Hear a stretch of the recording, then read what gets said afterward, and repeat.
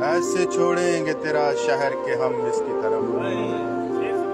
ऐसे छोड़ेंगे तेरा शहर के हम इसकी तरफ़। गर्दिशे वक्त के मारे भी नहीं आए।